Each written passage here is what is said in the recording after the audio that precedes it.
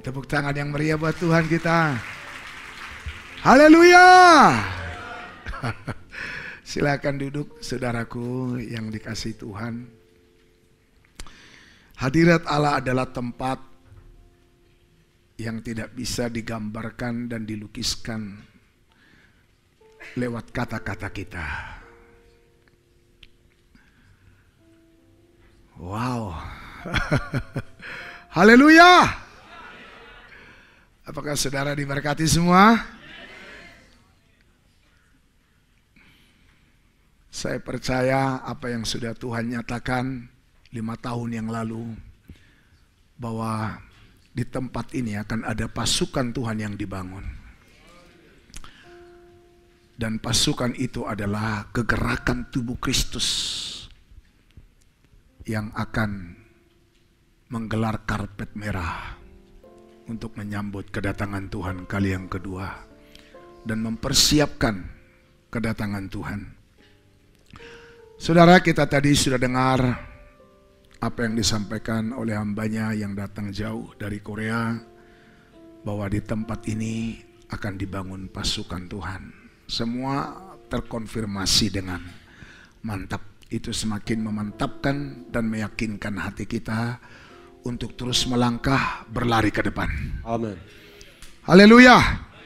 Dan kita terus mempersiapkan diri sampai kita melihat gelombang lawatan Tuhan itu terjadi. Dan apa yang sudah Tuhan janjikan itu tergenapi semua khususnya untuk provinsi kita, untuk bangsa kita. Amin. Saudara yang dikasih Tuhan, kita langsung buka Alkitab dulu ya. Dari kitab Yeskiel pasal 36 ayat 25 dan 26. Kitab Yeskiel 36 ayat yang ke-25 dan 26. Saya rindu kita semua baca bersama-sama. Bagaimana kita menjadi pasukan Tuhan yang siap dengan gelombang lawatan Tuhan yang terakhir ini. Haleluya. Ya, Yeskiel pasal 36 ayat 25 dan 26 saya rindu kita semua baca bersama-sama. Firman Tuhan dua ya. Aku akan mencurahkan kepadamu air jernih yang akan mentahirkan kamu dari segala kenajisanmu dan dari semua berhala-berhalamu. Aku akan mentahirkan kamu. 26. Kamu akan kuberikan hati yang baru dan roh yang baru di dalam batinmu. Dan aku akan menjauhkan dari tubuhmu hati yang keras dan kuberikan kepadamu hati yang taat. Katakan amin. Katakan haleluya. Kalau kita baca selanjutnya bahwa hati yang taat itu adalah hati yang bersih dari segala berhala. Ini penting, saudara. Ini dalam dua bulan terakhir kita sudah bahas ini. Bahwa hati yang tahir itu adalah hati yang disucikan, hati yang dibersihkan dari berhala. Sehingga dalam hidup kita tidak ada lagi yang bernama unsur berhala. Amin. Kenapa Tuhan melarang orang Israel bergaul dengan bangsa lain pada zaman hukum Taurat, saudara? Sebenarnya simpel saja. Tuhan hanya mau agar umatnya tidak terkontaminasi dengan kepercayaan bangsa-bangsa lain. Dan kita melihat ada banyak orang-orang Israel, khususnya Raja Salomo, yang akhirnya menikahi dari wanita-wanita bangsa lain. Sehebat sekaliber Salomo. Alkitab katakan bahwa tidak ada yang dilahirkan oleh perempuan semulia Salomo. Se, se, seperti hikmat Salomo. Itu Yesus sendiri yang katakan. Tetapi saudaraku, Salomo akhirnya tumbang karena berhala. Dalam perjalanan orang Israel selama di padang gurun menuju tanah perjanjian. Ketika Balak ingin mengutuki mereka lewat Nabi Bileam. Saudara kutuk semua berubah jadi berkat. Tidak satu kutuk pun keluar dari Nabi Bileam, betul? Semua Tuhan ubah jadi berkat. Jadi kalau orang sudah dipilih Tuhan, semua kutuk yang dilontarkan orang akan berubah jadi berkat. Dan memang orang-orang pilihan Tuhan adalah Orang yang sudah ditetapkan, dihususkan untuk diberkati. Tapi ingat, kita diberkati supaya kita jadi berkat. Makanya sebelum diberkati, belajarlah dulu hidup menjadi berkat. Mulai dari hal kecil, saudara. Katakan amin. Siapa yang terjadi? Raja Balak bingung. Lalu akhirnya Bileam menasihatkan. Supaya orang Israel dibujuk dengan perempuan-perempuan Midian, betul? Dan akhirnya mereka berpasangan dengan Baal. Begitu mereka berpasangan dengan Baal, mereka mengadopsi kepercayaan dari bangsa lain. Rusak hubungan mereka dengan Tuhan. Begitu rusak, lihat saya semua, nggak perlu dikutuk, terkutuk sendiri. Betul? Akhirnya Tuhan murka pada orang Israel. Balak nggak perlu lagi mengutuki, Bileam tidak perlu lagi mengutuki. Orang Israel akhirnya menjadi apa? Alamat murka. Makanya saudara, Tuhan berkata, aku akan mencurahkan air jernih untuk mentahirkan kamu. Ini penting. Katakan haleluya. Saudara dan saya mau dipakai Tuhan.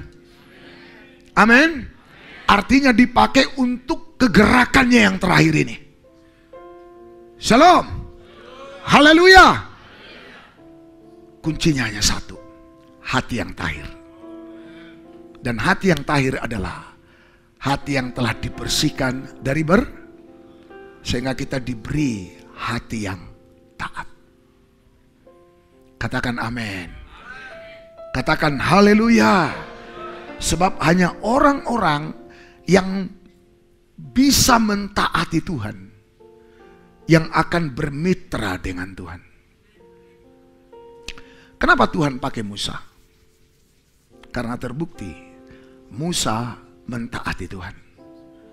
Ketika membangun kemah suci, Alkitab berkata, maka Musa melakukan seperti yang difirmankan oleh Tuhan. Kenapa pada zaman Nuh, hanya Nuh yang Tuhan percaya? Karena ternyata dari semua manusia yang ada di kolong langit waktu itu, hanya Nuh yang Tuhan lihat yang hatinya mampu dapat mentaati apa yang Tuhan katakan. Berarti Nuh adalah orang yang dengar-dengaran pada Tuhan. Katakan haleluya. Kenapa dalam sejarah kerajaan Israel Tuhan tidak menjumpai seorang yang sama seperti Daud, percis. Dan tidak ada raja di Israel yang paling berkenan kepada Tuhan selain Daud. Betul nggak? Kenapa? Karena Daud adalah ternyata orang yang bisa mengikuti apa yang Tuhan mau. Katakan haleluya. Saya berdoa biar semua kita dalam setiap bulan fellowship di tempat ini pulang dengan hati yang semakin ditahirkan. Haleluya. Kalau hati udah tahir semua beres. Karena dia yang akan bekerja. Dia yang akan bergerak bukan oleh gagah dan kuatmu kata firman Tuhan. Melainkan oleh rohku, amin. Bukan, bukan kita. Bukan pengalaman kita. Bukan gelar kita, bukan kemampuan kita. Bukan pendidikan kita, bukan. Tetapi dia yang melakukannya. Ada haleluya. Sama-sama katakan hati yang tahir. Kurang mantap sekali lagi sama-sama katakan hati yang tahir. Itu yang Tuhan cari. Dan itu yang Tuhan dambakan. Dan Tuhan rindukan di fellowship ini. Bangkit pasukan Tuhan dengan hati yang tahir. Haleluya. Karena Tuhan sudah sangat rindu untuk memberkati bangsa kita. Tuhan sudah sangat rindu untuk memulihkan setiap daerah yang ada di Sumatera Utara. Dari tadi saya teringat saudara, apa yang saya sudah, sampaikan beberapa waktu yang lalu, saya lupa atau dua bulan atau satu bulan yang lalu, apa yang Tuhan berikan sekitar 20 tahun yang lalu. Ketika kami berdoa minta lawatan Tuhan untuk tanah Batak.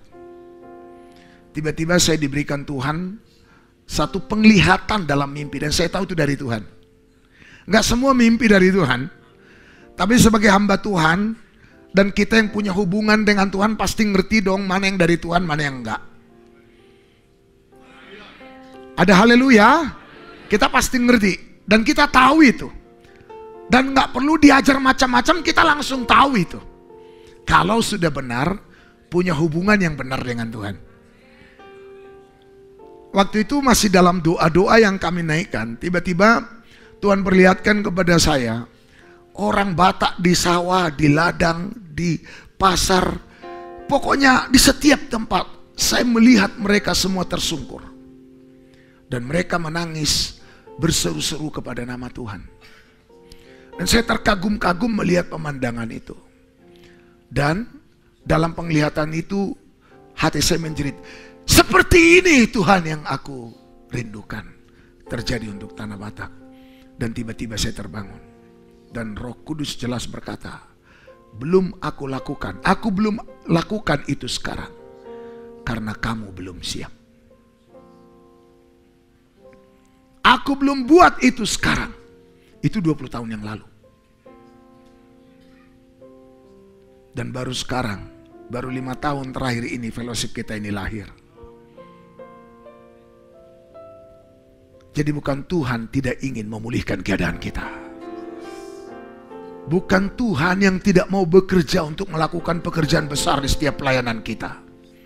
Tetapi yang menjadi persoalannya, siapa yang bisa dipercaya Tuhan? Saya berdoa, saya dan saudara menjadi orang-orang yang bisa dipercaya Tuhan. Haleluya. Mau apa pun gelarnya, mau ibu rumah tangga pun, mau hanya jemaat pelayan, Mau S2, S3, mau sampai esteller sekalipun gak masalah. Tapi dapat dipercaya Tuhan. Katakan haleluya.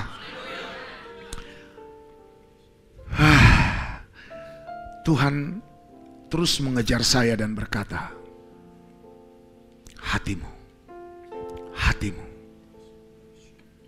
Tuhan terus kejar saya soal itu. Dan itu hampir doa saya tiap hari. Saya udah sering bilang, apalagi halak kita ya. Ini saya ulang lagi nih, karena ada yang baru-baru ini. Apalagi orang Batak. Gak usah dipakai Tuhan, gak dipakai aja sombong. Haleluya. Gak usah kaya, miskin aja sombong. Gak usah hebat. Gak hebat aja sombong. Beritahu kiri kananmu, itu bukan kamu. Ayo ngomong dong, bilang dong. Masa kau setuju kawanmu seperti itu? Beritahu kiri kananmu itu bukan kamu.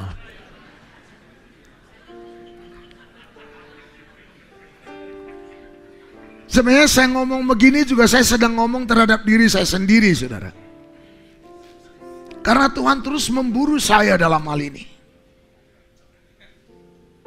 Dan ini harus terus kita perkarakan dengan Tuhan sampai hati kita bersih di hadapannya. Haleluya. Amin. Haleluya. Gak tahu ya. Kan kalau kita lihat di kitab Wahyu bahwa satu, satu suku dari Israel tidak tercatat, betul nggak? Suku Dan, betul? Suku apa? Saya takut itu orang Batak, saudaraku. Saya takut itu orang Batak. Karena kalau kita lihat, sebelum Yakub meninggal, kan dia berkati semua 12 anaknya itu. Iya kan? Termasuk Dan. Dan dikatakan seperti apa? Dia akan menjadi hakim di antara saudara-saudaranya. Dan dia akan menjadi seperti ular. Hakim dan ular. Selidiki orang Batak. Pengacara terkondang di Indonesia orang apa? Jaksa hakim kebanyakan orang apa? Makanya pernah ada di di uh, Indonesia law, lawak ILC juga, tapi ini yang lawaknya. Dia bilang gini, di pengadilan hakimnya Batak, jaksanya Batak, terdakwa juga Batak. Gila itu. Haleluya. Makanya saya bilang saudara, kalau di Jawa sana ada istilah begini, kadal lu jangan kadalin lagi. Itu di Jawa. Tapi kalau di kita enggak. Bagaimana ngau dulu hem. Haleluya. Kan begitu. Baulok gayulok iho katanya.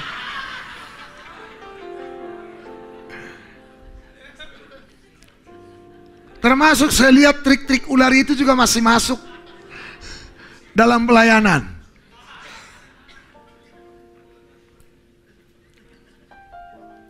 Haleluya. Ya, itu prediksi saya. Kayaknya suku dan itu kita. Kok Jawa?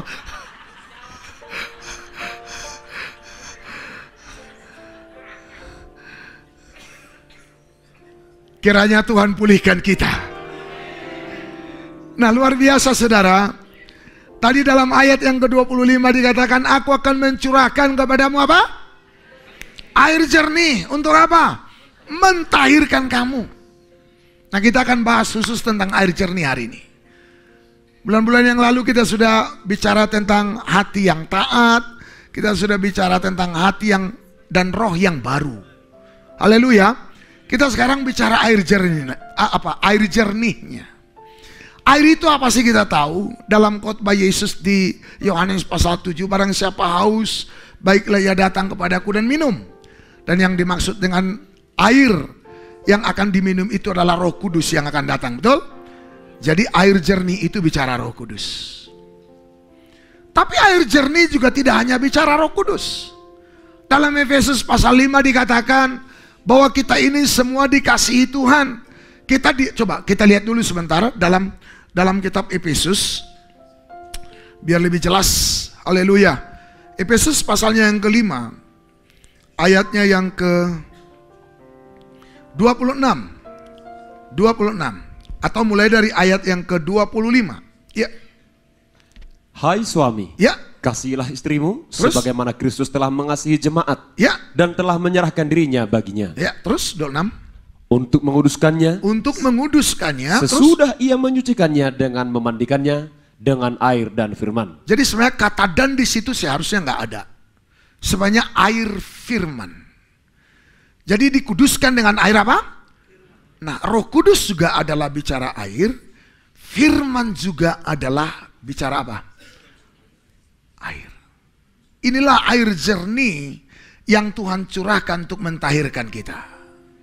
Tadi waktu makan, Pak Edo ngomong sama saya. Tiga hari yang lalu beliau katanya mimpi. Mimpi di satu tempat ya. Ya di sini. Dia mimpi bahwa kita seperti ada di dalam satu kolam yang banyak airnya. Dan kolamnya itu adalah tempat ini. Dan kita mengalami air itu sekarang. Semua terkonfirmasi saudaraku. Jadi bukan berkancang pada penglihatan-penglihatan. Memang kita harus hidup dalam karunia-karunia roh kudus. Mana haleluyanya? Amin. Dan kita hari ini bicara air. Air yang menjer, air jernih yang mentahirkan kita. Itulah air roh kudus. Dan juga adalah air fir. Katakan amin. Tetapi saudara, saya melihat air di sini bukan hanya bicara roh kudus. Bukan hanya bicara firman. Ya, air itu adalah roh, air itu adalah fir, firman. Makanya ini harus seimbang. Kita nggak boleh hanya limpah di roh, miskin di firman. Nggak boleh hanya limpah di firman, tapi miskin di roh. Dua hal ini adalah yang tak bisa terpisahkan. Harus sama-sama limpah. Amin. Katakan haleluya. Ini harus dikombin dan ini harus benar-benar memenuhi setiap kita. Inilah yang disebut dengan dua sayap burung nasar. Yang membuat saya dan saudara dapat terbang ke tempat di mana kita dipelihara oleh Tuhan. Jauh dari mata naga itu. Haleluya. Jauh dari jangkauan. Makanya dahsyat. Kalau hidup kita sudah dilimpahi air roh kudus, dilimpahi dengan air firman, maka setan tidak akan pernah bisa menjangkau kita. Setan tidak akan pernah bisa menghentikan langkah kita. Tidak peduli seberat apa medan pelayanan kita. Selama ada air roh, ada air firman, semua keadaan di sana akan dibalikan. Katakan haleluya. Haleluya. Amin. Dan air roh kudus dan air firman itu membuat hati kita menjadi apa? Jadi hati yang tahir adalah hati yang dapat mengalir dengan kekuatan roh dan kekuatan firman.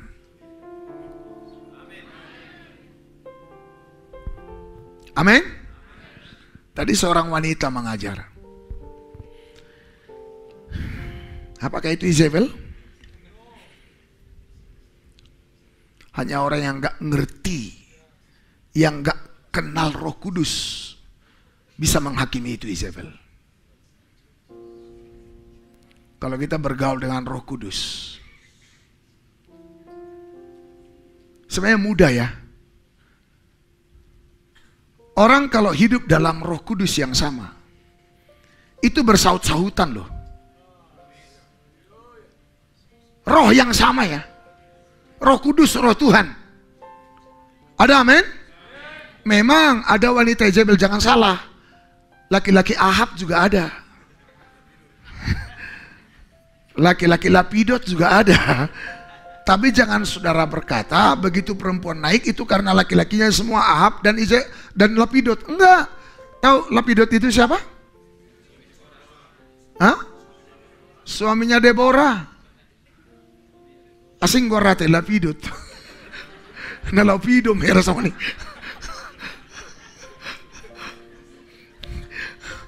Namanya aja lucu ya. Haleluya. Siapa pun bisa dipakai oleh Tuhan. Amin.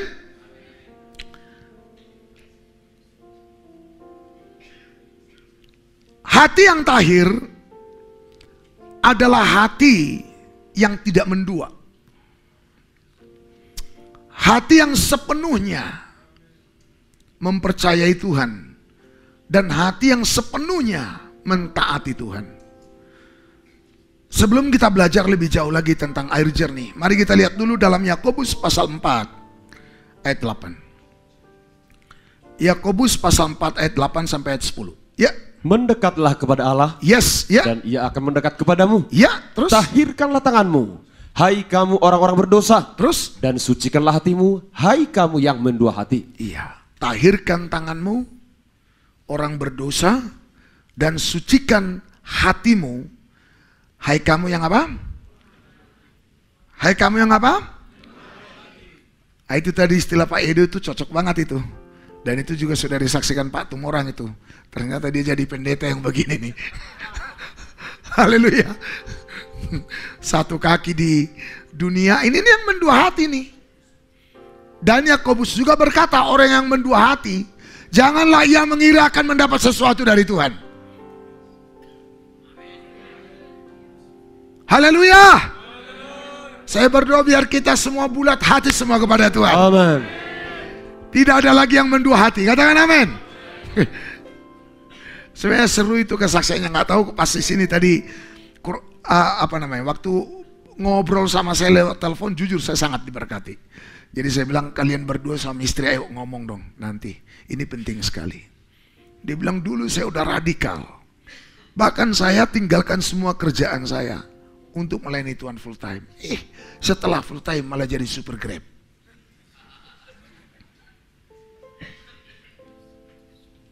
Jujur, sering kali kita tanpa menyadari, sering kali loh. Bahkan udah bolak balik diingatkan pun tetap ngotot. Sampai akhirnya dikeroyok dan diangkat seperti babi katanya. Kan gitu tadi. Ya nggak apa-apa karena beliau ini udah kalau ke saya itu ngomong udah lepas-lepas saudaraku. Nggak ada lagi istilah jaim-jaim saudara. Haleluya. Dia habis di, diperlakukan seperti itu di bandara dia telepon saya. Bagaimana Pak katanya?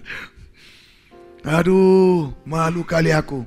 Seperti babi aku diangkat katanya. Jujur, sebenarnya ya itu dia, tapi jujur bukan hanya dia sebenarnya.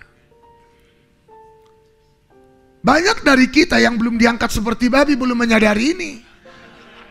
Baru nanti sadar begitu diangkat kayak babi baru. Bahkan udah dengar begini pun ya itu kan patung orang, aku beda katanya. Shalom. Haleluya.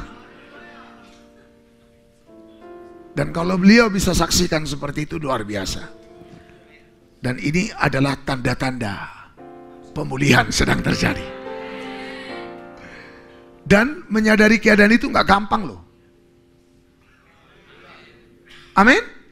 Sekali lagi, menyadari keadaan kita yang sebenarnya itu nggak gampang. Beliau harus diangkat kayak babi baru sadar.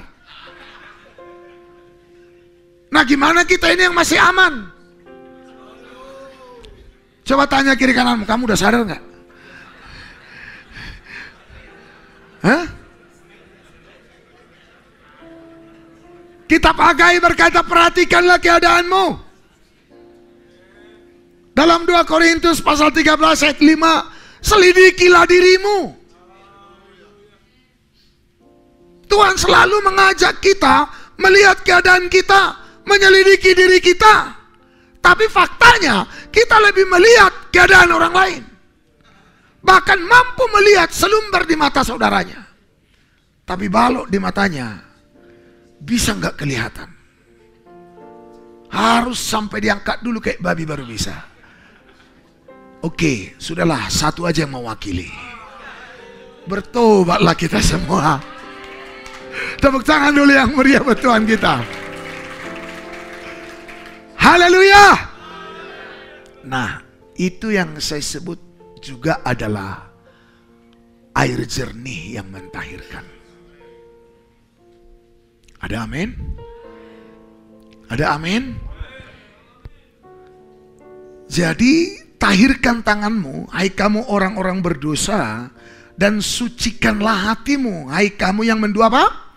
Mendua hati. Terus ayat 9. Sadarilah kemalanganmu. Ah itu dia. Sadari apamu? Kemalanganmu. Ingat nggak jemaat Laodikia di kitab Wahyu pasal 3.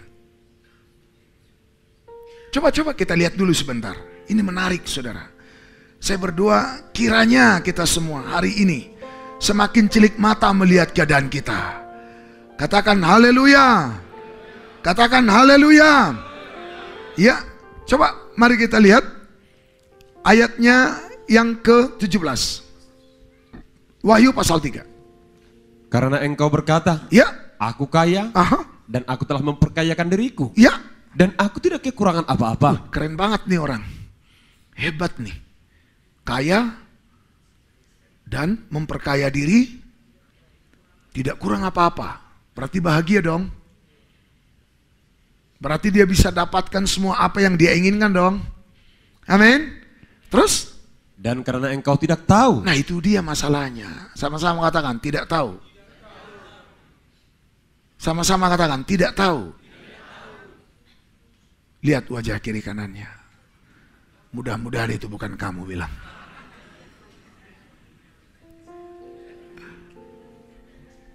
Begitu Tuhan yang sorot. Begitu Tuhan bicara. Orang yang berkata aku kaya, aku tidak kurang apa-apa. Langsung Tuhan katakan, engkau tidak tahu. Terus, bahwa engkau melarat dan malang, miskin, buta dan telanjang. sempurna penderitanya. Jujur, banyak dari kita nggak tahu kalau kita melarat. Banyak dari kita nggak tahu kalau kita orang buta.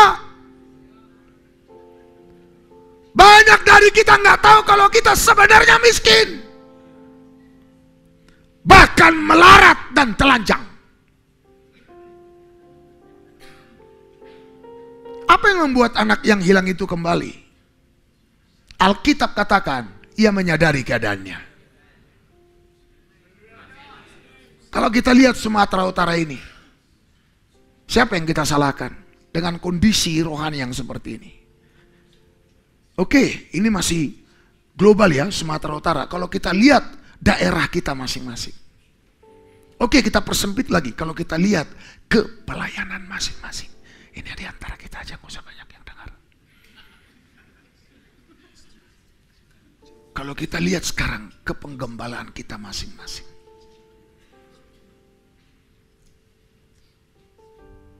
Bisa nggak kita menyadari keadaan kita yang sebenarnya? Seperti Tuhan melihat keadaan kita. Kita bisa melihat keadaan kita juga dengan kacamata mata Tuhan itu. Dan itu nggak gampang. Sekali lagi saya katakan, itu nggak mudah. Dan kalau kita bisa tahu keadaan kita, itu anugerah. Katakan haleluya. Katakan haleluya. Kita bisa mengenali hati kita itu anugerah. Yang parah udah sombong tapi merasa paling rendah hati.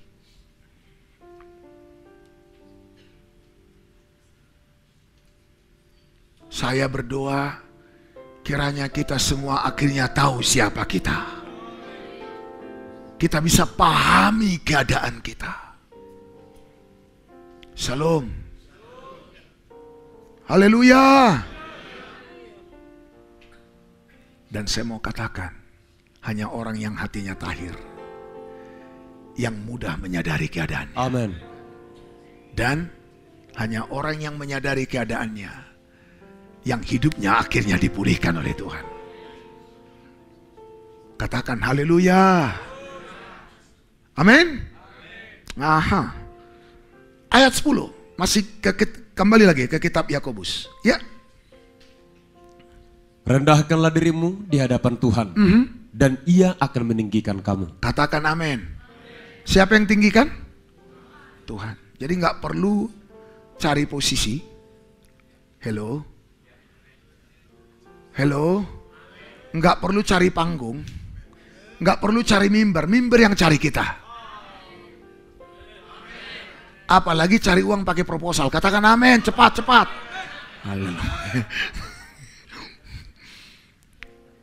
Peninggian itu datangnya dari Tuhan.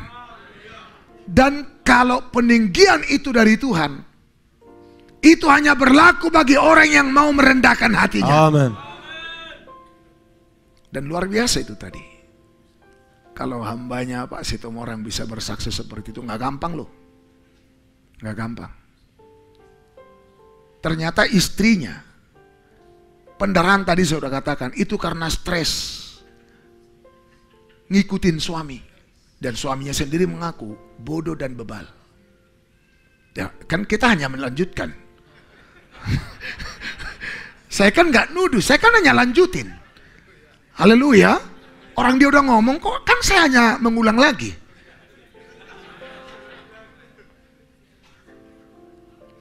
Tapi karena dia ingat firman, istri itu harus tunduk. Bagaimana ibu-ibu gembala yang lain? Where are you? Salam. Asal de pehamu. Salam. Suaminya udah rendah hati, suaminya udah takut Tuhan, suaminya udah berdoa sungguh-sungguh, masih ditanduk. Maksud saya yang di luar sana. Tapi lihat loh, Tuhan hadiahi pertobatan dari suami karena ada istri yang mau tunduk. Mana haleluyanya? Karena saya juga si Lydia kemarin saya ngomong itu. Ini kita mau mantu nih bulan 11. Nih diundang hadir semua ya. Kok, kok pelan kali amin ya? Masuk saudara diundang ini lambang perkawinan anak domba Allah. Haleluya. Ya untuk hamba-hamba Tuhan 200 pendeta sudah kita siapkan khusus. Tanggalnya tanggal 19. 19 November. 19 November. Itu tepatnya hari Selasa. Kalau saudara niat datang, Tuhan akan sediakan semua. Eh, kok agak pelan amin? Oke. Saya bilang ke dia apa pun ceritanya kau harus tunduk. Saya ngomong, termasuk ini calon mantu juga di sini nih yang terjemahin-terjemahin nih. Ivan, nanti dia akan bicara sedikit soal masalah sekolah Alkitab, Revivalist Expert. Dan nanti juga sekaligus kita akan mendoakan siswa-siswa sekolah Alkitab yang akan memulai mulai belajar akhir bulan ini. Dan ini adalah revivalist-revivalist yang dipersiapkan untuk gelombang lawatan Tuhan yang terakhir. Haleluya. Ya, saya bilang wajib tunduk, nggak bisa. Banyak hamba Tuhan hancur. Tadi kan sudah kita dengarkan kesaksian Pastor Karis. Seorang Yonggi Cho, itu itu pendeta favorit saya juga. Semua bukunya saya saya banyak bukunya, bukan semua sih. Banyak bukunya yang saya telan, artinya saya baca. Dari dimensi keempat yang cukup terkenal, banyak lagi buku-buku yang lain. Itu saya nggak tahu udah udah dipinjamin orang banyak yang nggak kembali. Ya sudahlah, hitung-hitung nggak apa-apa firman itu sudah lengket di hatinya makanya nggak kembali lagi. Haleluya. Ya. Dan tadi saya kaget kalau kelakuan istri anak-anak seperti itu. Seorang hamba Tuhan yang begitu luar biasa dipakai Tuhan tapi lihat begitu istri tidak belajar mengalir bersama itu bahaya. Dan kita pernah dengar Benihin sempat bercerai dan akhirnya nikah lagi dengan istrinya. Jadi dua kali nikah mereka dengan pasangan yang sama. Dan ada orang, orang yang nanya kami, terus gimana itu pak? Itu lebih bagus daripada dia kawin lagi kayak Ahok. Itu bahaya. Haleluya. Loh iya dong artinya dia berdamai lagi dengan Is. Ya artinya diteguhkan lagi perjanjian nikahnya. Kan gitu. Itu itu oke. Okay. Itu oke okay, oke. Okay. Ya di Jakarta itu gagal, tapi kita di kita berhasil, saudaraku. Haleluya. Ada amin? Saudara, ya, saya juga berdoa biar istri-istri pendeta semua. Ini halak-halak kita ini semua. Amin. Ya, saya jujur loh, saya ngomong ke Pak Tumorang, berbahagialah engkau Pak Tumorang, saya bilang. Dapat wanita yang baik. Yang menduakanmu, haleluya. Ya saya juga berbahagia dapat istri saya, haleluya. Haleluya, bukan cuma Pak orang, haleluya. Haleluya. Ya, saya banyak dibentuk lewat karakternya. Semananya kalian, haleluya. Kenapa ketawa? Saya bilang, Mbak, kami saling membentuk. Dan dia sering dipakai Tuhan untuk membentuk saya. Iya, dia menjadi tangan Tuhan. Menjadi perpanjangan tangan Tuhan untuk merendahkan hati saya. Praise the Lord.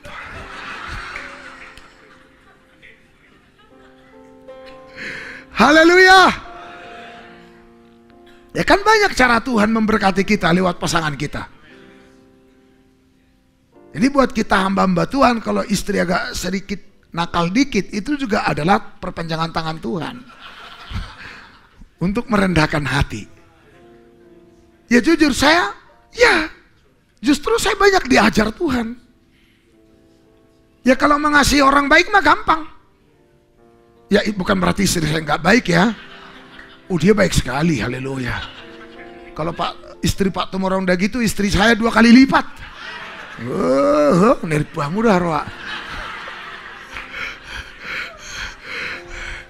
Haleluya. Loh makanya saya bisa begini. Di balik kesuksesan suami, ada istri yang menopangkan begitu selalu. Haleluya. Tapi jangan pula di balik kejatuhan suami. ya harus ini dong seimbang. Amin. Makanya nasib suami-suami ini di tangan istri. Ada seorang pria, pernah saya lihat videonya. Umurnya udah sampai hampir 100 tahun ya. Tapi masih sehat loh. Dan dia diwawancara saudara, Dan waktu diwawancara dia bilang, apa rahasia, resep daripada umur panjang Bapak? Tahu nggak dia bilang apa? Saya punya istri yang sangat baik. Istri saya terus mensupport saya. Sehingga istri saya itu seperti energi yang sangat luar biasa. Yang menyegarkan tulang-tulang saya. Dan meremajakan organ-organ tubuh saya. Oh haleluya. Tadi Pak Edo ngomong waktu masih makan. Dia katanya ngomong sama anak saya, si Obet yang main drum. Bet itu abang lu ya? Jadi dikirain saya dengan si Obet anak saya kakak adik. Haleluya. Ada bahkan yang bilang dengan calon menantu saya, saya dibilang sepantaran. Nah, saya ini udah tua. Umur. U? Umur. Tapi kalau semangat masih seperti 25 tahun. Haleluya. Itu karena peran istri. Puji nama Tuhan. Katakan haleluya. Tahirkan tanganmu hai orang berdosa. Sucikanlah hatimu. Hai engkau yang mendua hati. Rendahkan dirimu. Maka Tuhan akan apa? Tinggikan. Katakan amin.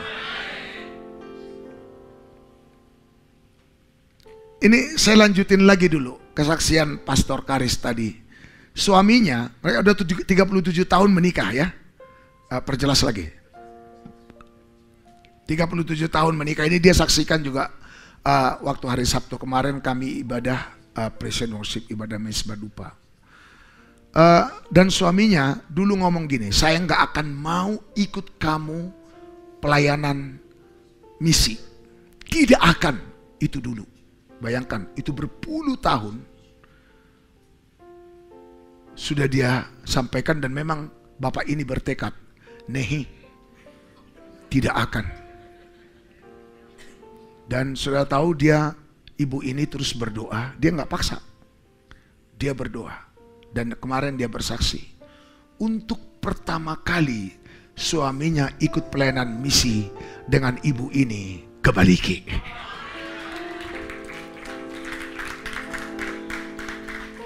Dan kami kan nggak tahu. Dan dia bersaksi kemarin waktu hari Sabtu. Udah kami bersama-sama ibadah di sini. Memang saya lihat suaminya tersungkur. Matanya bengkak. Saya pikir udah biasa. Ternyata dia adalah laki-laki batu. Yang nggak pernah menangis. Dan dia yang bilang, dan istrinya juga bilang itu jarang, nggak pernah nangis. Nggak pernah nangis. Tapi di sini diterpa hadirat Tuhan. Dia tersungkur menangis dan matanya sampai bengkak. Dan akhirnya juga dia bersaksi sekitar beberapa menit. Dia bilang, saya paling nggak bisa menangis, tapi saya di sini menangis habis-habisan. Tuhan menerpa saya katanya. Kunjungan pertama dari pelayanan bersama istrinya di Baligi. Saya diingatkan Tuhan, bangsa-bangsa akan datang ke tempat ini untuk mengalami Tuhan. Dan sudah tahu nggak? Hari Kamis kemarin saya selesai ibadah uh, Bible study. Dari pendua syafaat ada yang WA saya. Pak, ini waktunya bahwa bangsa-bangsa akan datang mengalami Tuhan. Dibalikin. Dan tahu nggak? Khotbah ibu ini minggu kemarin. Dia, dia mereka dilawat Tuhan ya. Kita mah udah ya nggak tahu ya bukan apa ya kita udah biasa dengan yang begitu. Dan sampai akhirnya dia bilang kamu harus buka cabang di Korea. Buat di Korea Jaitun Ministry katanya. Haleluya. Ayo kita lah ke sana nanti. Yang mau ke sana katakan amin. Uang pun atau Korea tuh buat ya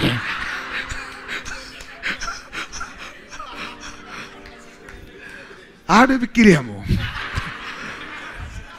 berjalani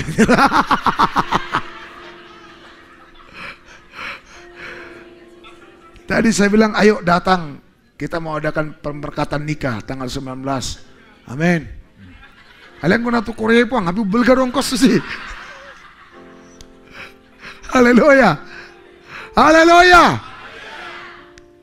Haleluya.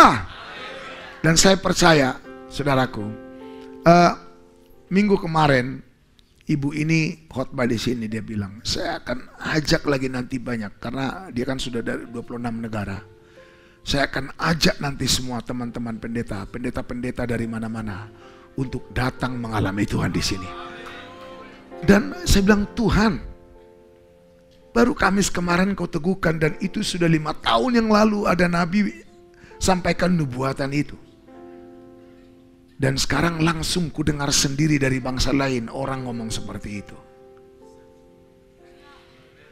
Apakah saudara masih ragu apa yang Tuhan mau lakukan ke depan? Mau siap bekerja sama dengan Tuhan? Mau siap bekerja sama dengan Tuhan? Dengar, tahir dulu hatinya. Tuhan hanya mau bekerja sama dengan orang-orang yang hatinya tahir. Katakan haleluya. Makanya jangan ada lagi yang mendu mendua hati. Ayo kita bulatkan hati pada Tuhan. Katakan amin. Ayolah. Haleluya. Satukan hati kita pada Tuhan. Amin. Hanya engkau pribadi yang mengenal hatiku Tiada yang tersembunyi bagimu Seluruh isi hatiku kau tahu Dan bawaku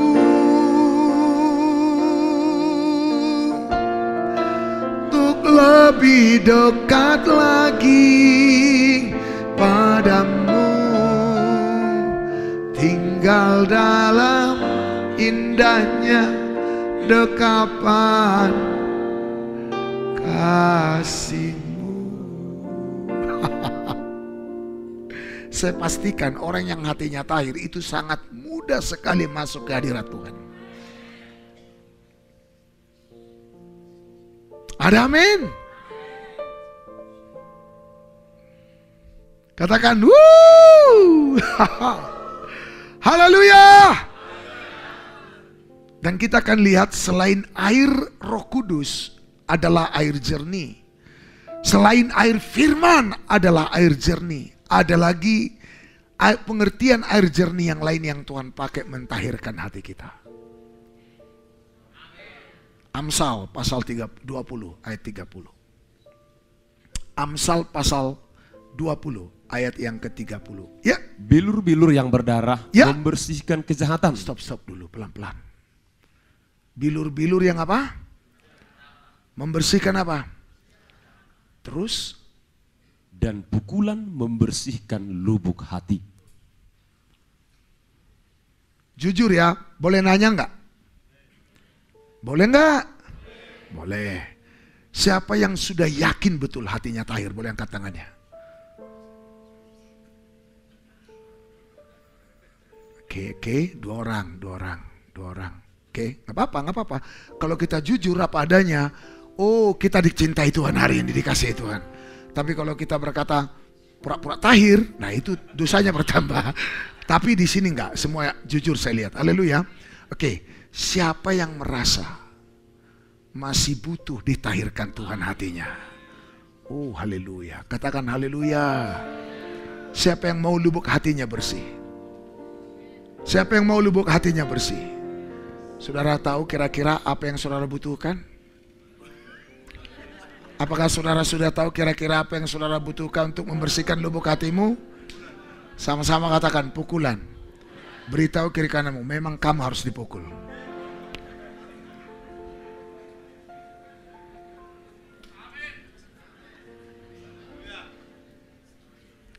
Kita butuh pukulan.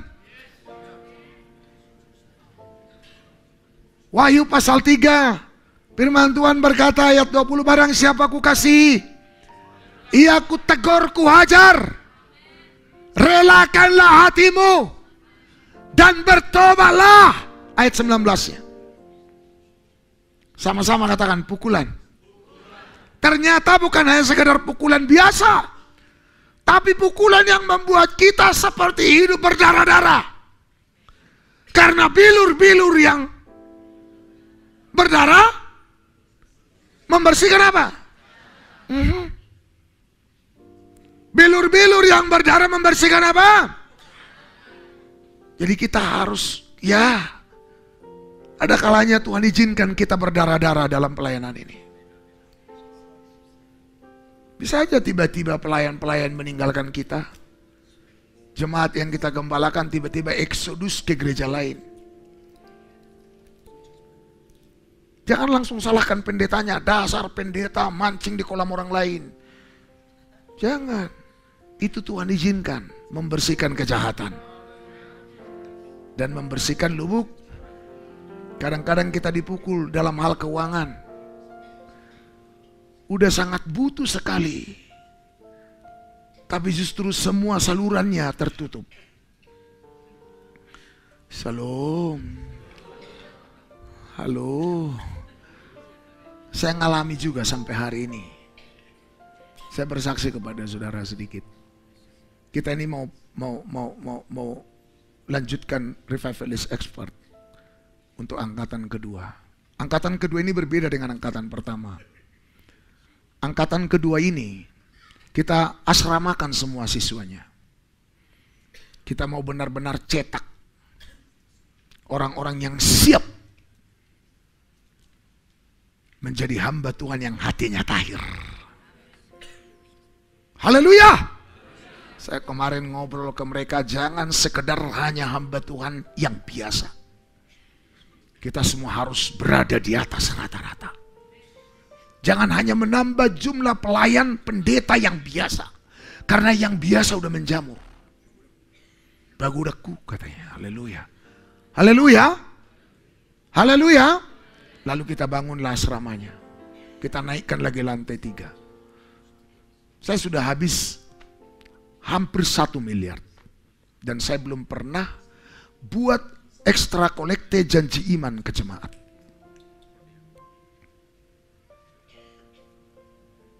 Hello, saya belajar berharap pada Tuhan. Saya cuma, kita lagi bangun, saya cuma gitu. Tapi kalau untuk buat korban khusus untuk pembangunan, belum sampai hari ini.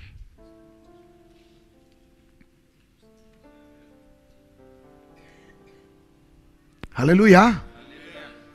Ya satu dua secara pribadi saya sharing, mereka menolak ya sudah, mau bilang apa lagi? Ya artinya nggak buat apa-apa, ya sudah. Jadi saya hanya kupandang wajahmu dan berseru pertolonganku datang dari Tuhan izinkan saya harus mengalami pukulan itu. Benar-benar kandas. Sudah nol. Tiba-tiba, ini ini ini seminggu yang lalu. Ini seminggu yang lalu kisahnya. Oh mama, oh papa. Saya biasanya kalau hari Minggu, kalau kalau mau hari Minggu, Sabtunya itu malam Minggu, itu saya udah bisa tidur jam 8 setengah 9. Lalu nanti saya jam 12, jam 1 itu udah bangun saya berdoa sampai pagi ya sudah terus sampai pelayanan. Tapi sudah tahu saya coba tiru nggak bisa karena sudah kandas. Kapal saya sudah kena karang, cuma belum bocor. Tinggal dorong memang bisa jalan lagi. Tapi untuk turun ke laut saya agak bingung sedikit. Haleluya, ngerti maksudnya kan? Sampai jam 12 saya nggak bisa tidur. Ya udah, hanya saya berdoa bahasa roh sambil persiapan khotbah. Buka-buka catatan lagi untuk hari Minggu. Dan saya masih terus berdoa nggak bisa tidur, nggak bisa tidur. Saya tahu, tiba-tiba saya ambil handphone saya. Saya lihat kan ada ada WA, kode WA itu kalau masuk kan. Oh ada yang WA ini tengah malam. Saya lihat, wah ini anak rohani saya. yang sudah melayani di Jakarta. Lalu dia bilang, Salam Pak Gem. Wah itu biasanya mereka kepanggil saya Pak Gem. Salam Pak Gem. Tadi saya ketemu dengan seorang ibu di Jakarta. Dan dia tahu saya dulu melayani di Jaitun Ministry hanya dia cerita bahwa dia pernah sudah datang ibadah di Jaitun Ministry waktu masih di Porsea di samping pom bensin gerejanya masih ngontrak. Nah waktu kami cerita dengan ibu itu, ibu itu cerita kalau dulu dia pernah berjanji di hatinya udah lama puluhan tahun. Lalu dia sebut namanya, saya sendiri lupa dan susah mengingat siapa ibu ini. Karena banyak kan yang datang kan tamu kita kan. Dan saya bilang yang mana ibu ini? Yang mana ibu ini? Saya masih nggak nggak bisa ingat wajahnya seperti apa gitu. Dan dia bilang dulu saya janji akan akan kalau tanahku laku akan kubantu Pak Tamrin untuk bangun gerejanya. Tapi bapak itu udah bangun gereja ya, digituin. Datang ini si kawan ini anak Ransa ini, memang sudah bu, udah bangun tapi mereka sedang membangun juga karena ada fellowship, mereka buat sekolah Alkitab, ya dia dia terus ada kok komunikasi update terus kan di Facebook dan di Instagram. Kan gitu ya. Lalu dia cerita, "Oh, begitu. Kebetulan tanahku itu belum laku. Ayolah kita berdua sekarang, kalau laku akan kubantu," katanya. Didoakan hari ini, besoknya langsung laku uangnya cash. Dan begitu uangnya cash dikasih, dan sampai anak ini pun dapat berkat juga gara-gara itu. Lalu dia bilang apa? Nanti ibu itu akan telepon bapak. Nomor nomor Pak Gem sudah kau kasih. Sudah tahu hari Minggu itu ya, hari Minggu ya kan? Itu malam Minggu ceritanya. Hari Minggu sengaja handphoneku nada deringnya hidupku buat. itu nggak pernah sejak dunia diciptakan. Apalagi hari Minggu. Ku buat handphoneku nada deringnya kuat dan selalu di kantong dan di tanganku. Siapa tahu tiba-tiba di telepon. Saya tahu hari Minggu sampai sore malam SMS pun tak masuk. Jangankan di telepon. Yang membuat saya kecewa, ada memang telepon masuk, no name. Nah huripui. Apa enak? Selamat malam Pak. Apakah ini Bapak Pendeta Tamrin? Eh, bukan pendeta, apakah ini Bapak Tamrin? Ya, saya dari perusahaan ini mau nawarkan produk ini. Kurang ajar dalam hatiku. Langsung ku jawab, maaf, saya lagi sibuk. Langsung saya matikan. Kecewa dong, mau percuma ditawarin orang saya lagi nol. Shalom. Hari Senin, ku buat lagi lebih kuat volumenya. Siapa tahu bunyi. Oh ini kalau minggu kemarin mungkin nggak mungkin lah bang nggak nggak buka, ya kan? Ah ini pasti Senin ini. Rupanya suaku pagi nggak ada, siang pun tak ada. Mulailah luntur pengharapanku untuk itu. Lalu saya bilang gini, aku nggak mau berharap pada manusia dalam nama Yesus. Tuhanku percaya rencanamu indah Walau saat ini tak ku mengerti. Datang pengerja kita, Pak, Panglong ini sudah minta jatah Pak, katanya. Sudah ada belanja kita di situ hampir 20 juta katanya. Urabasakataka rabapa. Hirabaso. Haleluya. Sabar kau bilang sama dia nggak akan lari kita. Beritahu, saya pendeta Jaitun Ministry. Haleluya. Iya kan? Ya udah tahu mereka pak katanya. Tapi dia bilang ya cicil-cicil lah katanya. Aduh kawan ini dalam hatiku. Sore aku kebangunan sambil lihat saudaraku. Tiba-tiba udah lupa. Aku sama sekali udah nggak ngerapin lagi. Sudahlah. Udahlah itu. Tuhan, kaulah harapanku. Kaulah segalanya di dalam hidupku. Begitu kulupakan telepon itu pun bunyilah. Udah sore hampir jam 4. Bayangkan loh. Eh jam 3. Hampir jam 3. Tiba-tiba telepon. Udah tinggal 25% lagi harapanku itu. 80% udah sirna. Tiba-tiba aku angkat. Shalom, agak lembut aku. Tetap juga siapa tahu. Shalom gue bilang. Shalom Amang. It's Shalom. Dari siapa? Saya bilang. Saya dengan ibu ini. Bapak masih kenal saya kan? Ya, begitu dia sebut namanya ibu ini, udah langsung ingat WA. Langsung haleluya. Sorak. Apa tadi bahasa Koreanya? Sengyong heng. Apa ya? Bahasa Koreanya, bahasa Koreanya. Sengyong heng yo. Haleluya. Sangyang yo. Haleluya. So aku, iya bu, iya bu. Saya bilang, wah agak lembut, lembut. Karena memang udah ngerti saudara kan keadaannya. Saya lagi berdarah-darah. Dan saya bilang, Pak, ini gini-gini. Akhirnya dia bilang, tahu ajaib sekali Pak. Kami, saya ketemu dengan anak rohani Bapak. Dia ceritakan kembali bunyi WA tadi yang masuk hari Sabtu malam, minggu malam minggu. Oh ya, saya kan udah tahu, tapi iya iya saya gitu aja. Saya tahu dia bilang apa? Ajaib pak, kami begitu kami doakan tanah itu besoknya langsung laku. Orangnya langsung datang kasih uang cash. Dan saya udah janji, saya akan transfer ke bapak. Tolong kirim nomor rekeningnya. Now. Wow, oke bu. Dalam hatiku kapan ini diputuskan biar langsung kirim itu maksudnya. Tapi masih ngobrol lagi, ngobrol lagi. Doakan kami pak, bla bla bla. Doakan suami saya, bla bla bla. Oke, udah aku bilang oke. Pokoknya Tuhan tolong, Tuhan ajaib, Tuhan luar biasa. Udah gitu gitulah.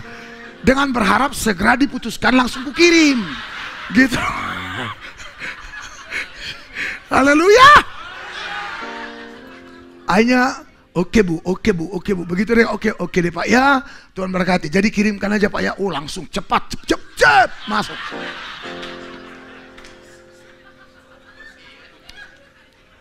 Tunggu punya tunggu, nggak dikirim.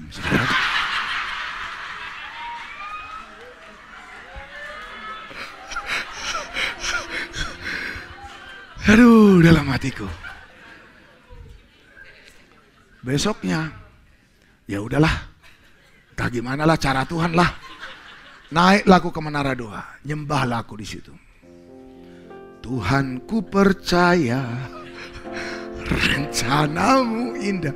Yang penting awan setapak sudah kelihatan. Berarti hujan ras akan segera turun. Saya tahu, saya lihat, udah saya simpan namanya, udah langsung saya buat namanya. Kalau ada yang mau minta nomornya boleh. Saya tahu dia punya toko emas di Jakarta. Ngerti kan maksudnya kalau dia punya toko emas? Bukan toko ikan asin, bukan. Toko emas. Dan saya tahu pas saya doa, tiba-tiba saya ditelepon. Pak, sudah masuk ya. Padahal SMS Bengki Kukteng, uh, udah masuk. Haleluya, bengkak. Lumayan panjang, Pak. Kalau yang gini-gini, ini off the record. Itu agak susah karena nanti tiba-tiba Pak pinjam dulu dulu katanya. itu agak berat. Haleluya. Tapi yang pasti sesuai dengan yang dibutuhkan. Bahkan lebih dari utang di Panglong. Lebih saudara. Gak sampai ratus memang. Tapi hampirlah. Dan itu luar biasa. Yang saya mau sampaikan. Dan sudah puluhan tahun kami gak pernah ketemu. Saya udah lupa bahkan ngingat wajahnya pun gak bisa. Setelah di WA saya baru kulihat wajah. Oh. Baru kulihat wajahnya di kan ada fotonya itu di WA itu. Oh ibu ini. Oh aku udah ingat lah ingat ingat ingat. Yang ajaib suraku. Sudah puluhan tahun tapi bisa Tuhan ingatkan. Membersihkan lubuk hati. Jadi kalau ada hal-hal yang seperti itu kita alami, jangan buru-buru ke Pemda. bawa beberapa catatan. Mengerti maksudnya? Biar tahir hatinya. Mana haleluyanya? Haleluya. Haleluya. Haleluya. Habis itu saya pikir saya udah lolos. Enggak. Saya diterpa lagi oleh badai. Ini badai bukan cuma badai, ombak juga. Hampir tenggelam lagi. Ya, kemarin aja udah ditolong, masa sekarang enggak itu aja.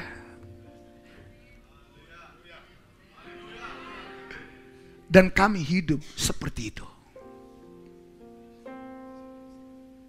Dan saya tertolong hanya karena doa, pujian, dan penyembahan. Saya setuju banget dengan istilah Pak Edo tadi. Dasarnya harus penyembahan. Dan penyembahan itu nggak ada pola. Yes! Karena penyembahan itu adalah kita. Kitalah penyembahan itu. Dan kitalah pujian itu. Makanya orang yang tidak punya pengalaman dengan Tuhan gak akan bisa menyembah. Orang yang tidak terkoneksi dengan Tuhan gak akan pernah bisa memuji dengan benar. Makanya kata Yesus, kamu menyembah yang tidak kamu kenal. Tetapi kami menyembah yang kami kenal. Kata kenal di situ bicara tentang hubungan. Itu bicara tentang keintiman. Karena kalau kita lihat dalam tabernakel, penyembahan itu terkena kepada alat mesbah ukupan. Betul? Amin. Dan mesbah ukupanlah yang dekat dengan tabut perjanjian. Jadi artinya seorang penyembah, seorang yang berdoa adalah seorang yang dekat di hati Tuhan. Jadi omong kosong kalau orang limpah firman tapi nggak bisa berdoa. Aminnya keluar dong. Haleluya. Penyembahan itu buat saya adalah kenikmatan yang tiada tara. Buat saya penyembahan adalah kesukaan yang tiada tara. Ku tahu hidupku adalah penyembahan. Kau ciptakanku dalam kemuliaanmu.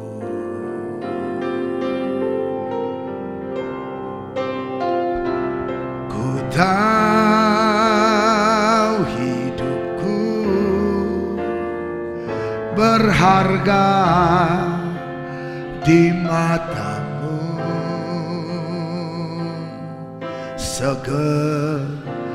segenap hidupku bersembahkan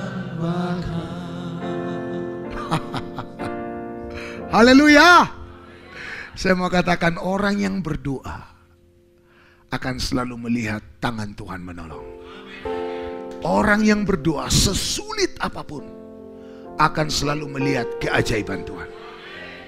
Yunus saja di perut ikan, dia lepas karena doa loh. Dan terakhir dia bersyukur. So nanti selidiki Yunus pasal 2. Doa syukur Yunus. Itu sebabnya dia dimuntahkan ikan dari dalam laut ke darat, dari perutnya.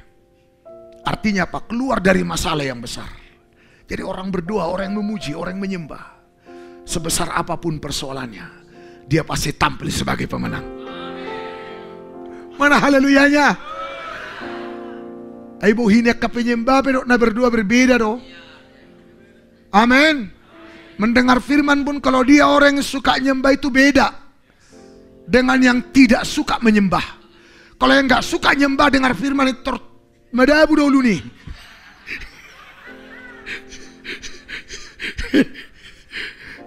Tapi saya bersyukur di sini tidak ada yang seperti itu. Hanya ada dua tiga orang.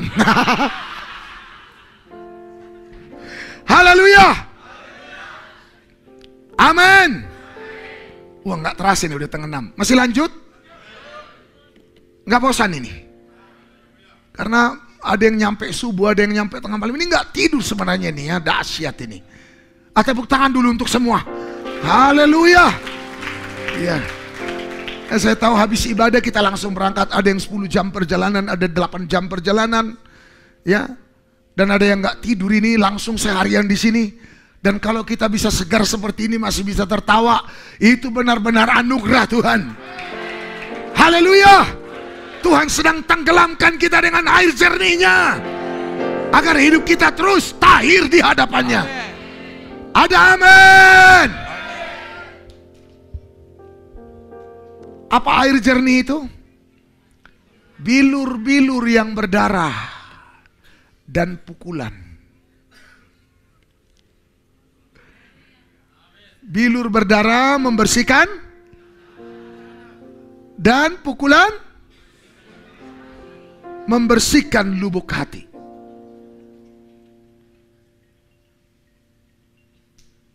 Sulit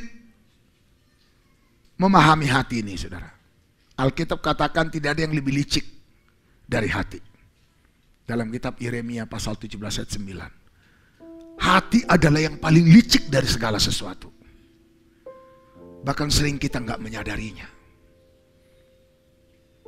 Yudas nggak sadar kalau hatinya udah terseret, saudara. Nggak sadar, dia baru sadar setelah akhirnya Yesus dieksekusi. Dia baru sadar dia bersalah, tapi sudah terlambat dan akhirnya dia mati bunuh diri. Tuhan jauhkan itu dari kita. Katakan haleluya. Mazmur pasal 119 ayat 67 sampai 73 main tepat, main cepat. Mazmur pasal 119 ayat 67 sampai 73. Ya, Sebelum aku tertindas, sebelum aku tertindas, aku menyimpang. ya, Tetapi sekarang aku berpegang pada janjimu. Jadi sebelum ditindas, dia menyimpang. Jadi supaya jangan, jangan menyimpang, harus diapain ini orang? Haleluya. Sama-sama katakan, saya perlu ditindas. Sebelum aku tertindas, aku menyimpang. Jadi kalau ada penindasan, bersyukurlah. Jadikan itu penyembahan. Haleluya. Ayo mari kita nikmati semua penindasan, menikmati semua pengalaman yang berdarah-darah, menikmati semua pukulan menjadi penyembahan. Amin. Katakan haleluya. Saya yakin kalau kita sudah ubah semua itu jadi penyembahan, kita akan melihat gelombang lawatan Allah. Pembalikan keadaan akan terjadi. Ada amin. Amin. Sebelum aku tertindas, aku menyimpang. Tetapi sekarang aku berpegang pada janjimu. Berarti dia udah tertindas dong. Kan sebelum aku tertindas, berarti dia udah tertindas. Jadi percis banget dengan kesaksian Pak Situmorang. Sekarang dia kembali kepada kasih mula-mula. Haleluya. Wah kita mungkin ketahuin dia, tapi dia lebih beruntung dari kita. Daripada kita masih jauh mungkin sebagian. Atau mungkin tidak ada, oh Paul nama Tuhan. Katakan haleluya terus, 68. Ya, Engkau baik dan berbuat baik. Ya, udah ditindas pun dia masih tak berkata engkau baik dan berbuat baik. Karena apa? Semua yang Tuhan izinkan terjadi yang kita alami walaupun itu berdarah-darah dan pukulan semua mendatangkan kebaikan. Ya, terus? Ajarkanlah ketetapan-ketetapanmu Ya, kepadaku. ya, terus 69. Orang yang kurang ajar menodai aku dengan dusta. Wah, terus? Tetapi aku dengan segenap hati aku akan memegang titah-titahmu. Terus 70. Hati mereka tebal seperti lemak. Tunggu, tunggu, tunggu, tunggu. Orang yang kurang ajar menodai aku dengan dusta. Rupanya si kurang ajar itu. Hatinya tebal seperti lemak. Belum tah? Ini yang disebut bodoh dan bebal. Jadi kata tebal seperti lemak artinya bodoh dan bebal. B kuadrat. Haleluya. Hati mereka tebal seperti lemak. Ternyata orang yang hatinya tebal seperti lemak adalah orang orang apa? Eh, orang apa? Tadi ayat 69. Ayat orang yang kurang Jadi kalau ada pendeta hatinya ayat 70 tadi tebal berlemak, tebal seperti lemak, ini berarti pendeta apa? Kalau ada pelayan Tuhan yang hatinya tebal seperti lemak, ini pelayan apa?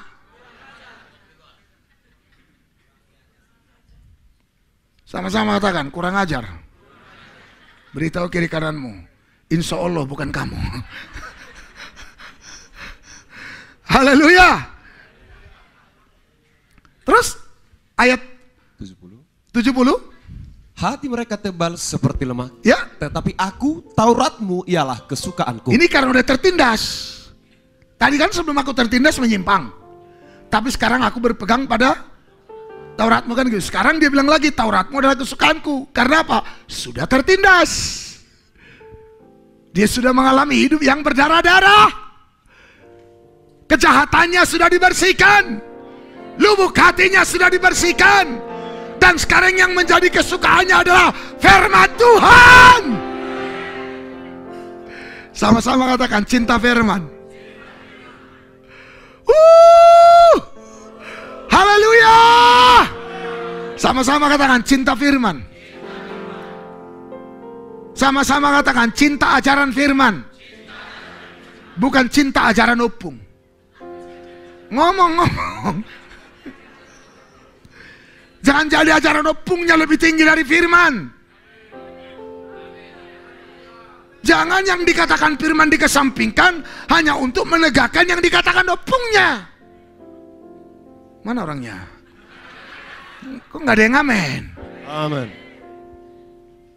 Kaulah segalanya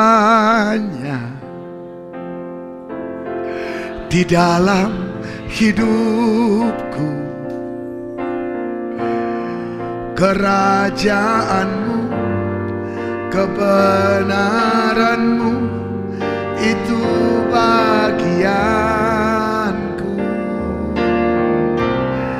Kaulah yang kupandang selama hidupku mengasihimu memuliakanmu Bapa dan Rajaku katakan haleluya kembali Mazmur 119 tadi saudara sekarang ayat 71 main cepat ayat 71 ya Bahwa aku tertindas itu baik bagiku. Mantap. Supaya aku belajar ketetapan-ketetapanmu. Puji Tuhan. Baru orang bisa ngerti firman. Kalau hatinya yang tebal seperti lemak itu sudah disunat. Sudah apa? Disunat. Lewat apa? Pengalaman hidup yang berdarah-darah. Pukulan dan penindasan. Dan itu baik bagi kita.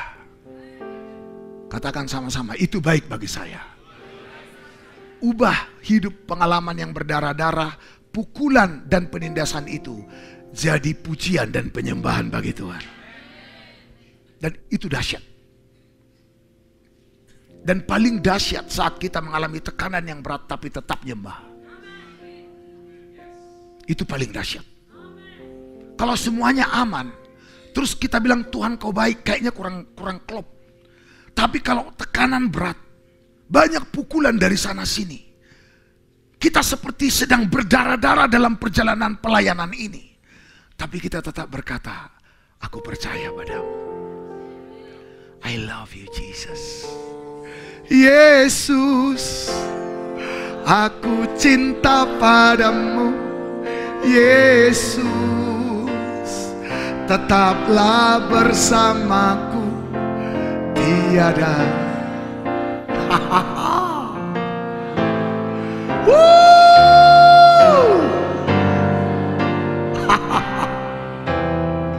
Katakan haleluya. Saya berdoa biar sudah pulang dari tempat ini punya pengalaman hidup yang berdarah-darah. Dan kalau sudah ada yang berdarah-darah, ubahlah itu semua menjadi pujian. Ubah jadi penyembahan. Dan kau akan lihat semuanya indah pada waktunya. Ayo duduklah di kakinya. Tersungkurlah. Udah. Jangan pikir ke mana-mana. Udah duduk di kakinya tersungkur. Bilang. Kadang-kadang memang sampai nggak bisa ngomong. Karena tekanannya begitu berat. Penindasannya begitu luar biasa. Darahnya begitu banyak mengalir. Nggak apa-apa. Bilang Tuhan.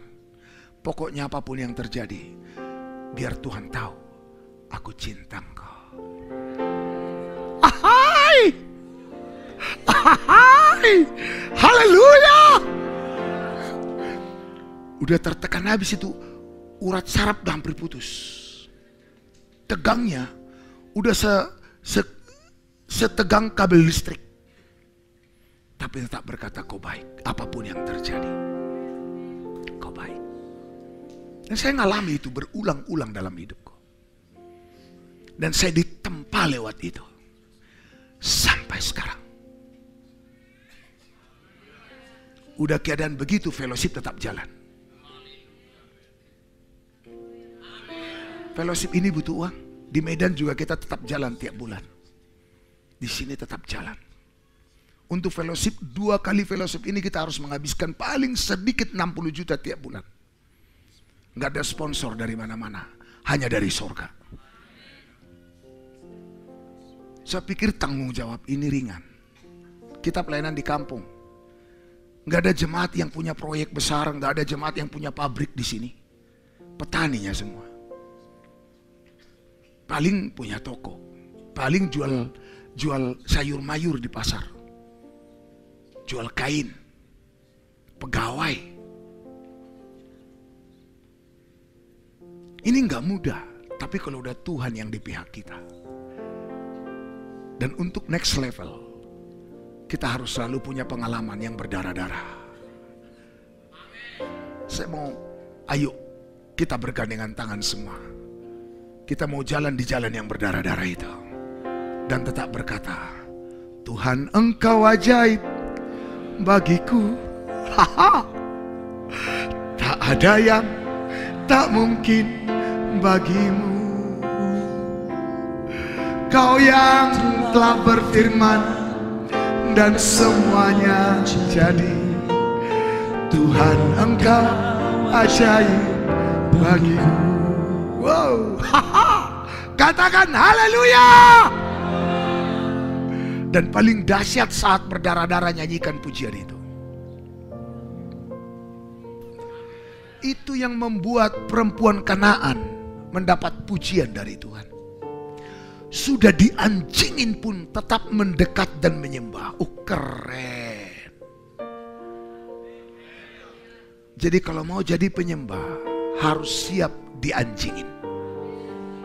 Harus siap direndahkan. Itu pengalaman hidup yang berdarah-darah.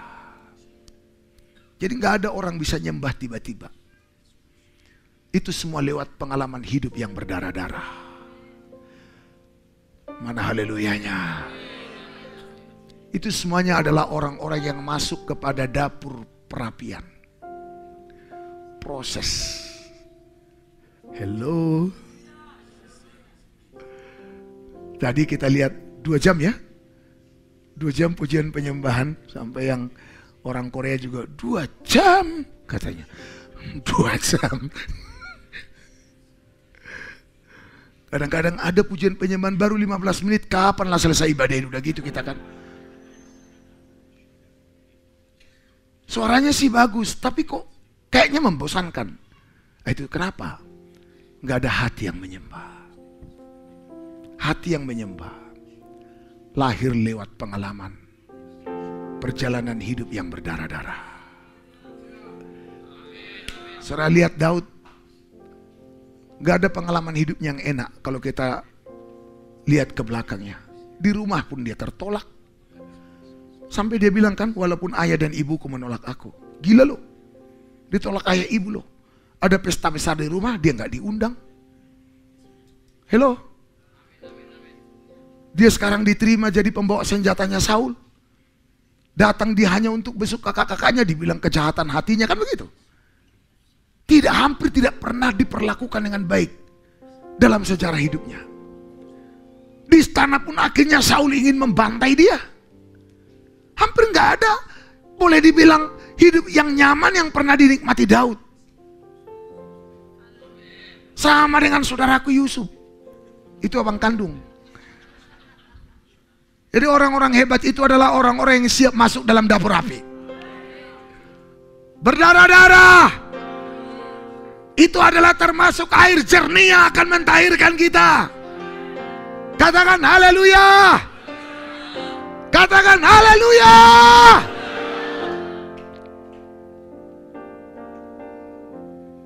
Amin. Amin. Saya tahu kita semua lewat padang gurun kok. Hanya yang jadi persoalan bagaimana kita menyikapi padang gurun ini. Apakah kita seperti kebanyakan orang Israel yang bersungut-sungut? Menyalahkan Tuhan dan menyalahkan pemimpin. Berapa banyak kita nggak bisa terima keadaan kita. Kita berpikir Tuhan tidak sedang memperhatikan kita. Tuhan jahat. Padahal itu adalah bukti cinta Tuhan. Tuhan mau membersihkan lubuk hati kita. Karena Tuhan ingin segera memberkati. Sebab kalau lubuk hatimu masih najis, bagaimana dia mau curahkan berkatnya atasmu? Kalau kejahatan masih melekat dalam hidupmu, bagaimana dia mau bermitra denganmu? Makanya dia izinkan kadang-kadang kita mengalami berdarah-darah. Dia memang bersemayam di sorga. Tapi dia tidak pandang hina orang-orang yang remuk hatinya. Orang-orang yang hancur hati dia tidak pandang hina. Dia dekat dengan orang yang remuk hatinya. Jadi kalau saudara hari-hari ini sedang mengalami peremukan, bersyukurlah. Amin. Jangan terlalu mengasihi diri sendiri. Supaya kita lihat kuasa kebangkitan itu segera. Mana haleluyanya? Amin. Bahwa aku tertindas itu baik bagiku. Supaya aku belajar ketetapan-ketetapanmu. Terus, lanjut terus. Taurat yang kau sampaikan adalah baik bagiku. Wih, mantap. Lanjut. Aman. Lebih daripada ribuan keping emas dan perak. Keren. Lebih dari apa firman itu? Lebih dari segalanya Ku ingin kau Tuhan Mas perak dan permata Tiada artinya. Sama-sama katakan Ku ingin lebih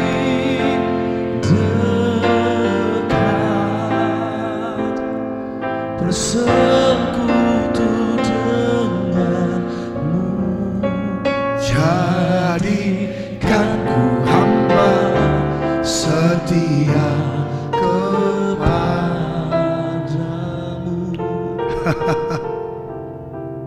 Amin. Kita baru bisa lihat nilai firman itu luar biasa. Ternyata dia lebih daripada ribuan keping emas. Jadi firman itu menjadi harta terindah di hidup kita. Yesus yang termanis buat jiwa buat jiwaku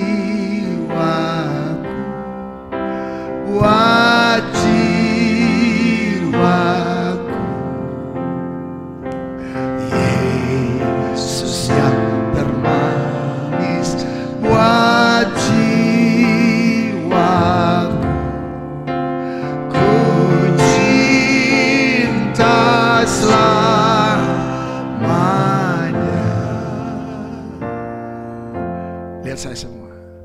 Hanya orang yang berdarah-darah, yang dipukul dan tertindas, yang mampu menyanyikan itu dengan hati yang benar. Karena dia sekarang ngerti, oh, Firmanmu lebih daripada ribuan keping emas. Firman itu adalah Allah. Allah itu adalah Fir. Engkau lebih dari segalanya. Hanya kau milikku di surga. Tiada yang ku ingini di bumi. Hanya kau. Tak ku andalkan kekuatanku. Namun yang pasti Kau tetap selamanya Yeay Allah sumber. Wow Yeay Kuatku Amin. Allah sumber. Kuatku Allah sumber.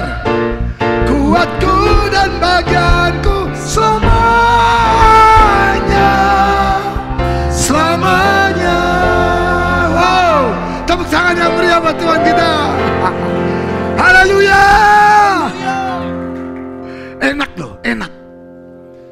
Saya benar-benar enak Jadi ayo teman-teman Saudara-saudara yang sedang berdarah-darah hari ini kalau selama ini bersungut-sungut, sekarang ganti sungut-sungut jadi ucapan syukur. Ayo kita mendekat pada Tuhan. Dan mulailah sujud menyembah. Sujud di altarnya.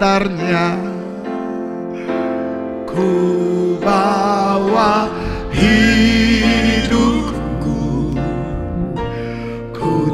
Terima anugerahnya. Dia ampuniku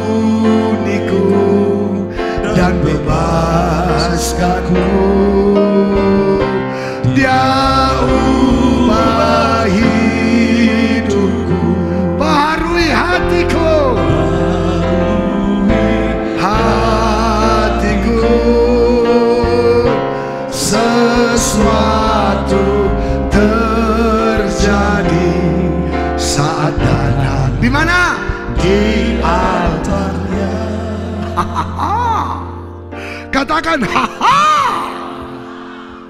Haleluya. Dahsyat. Pada saat-saat kita terjepit, pada saat-saat kita tertekan, kita ngalami kebaikannya. Kita ngalami sentuhannya. Wow, itulah terkatakan. Haleluya. Katabin. Haleluya. Mulala tuba mulu karo la terkatakan.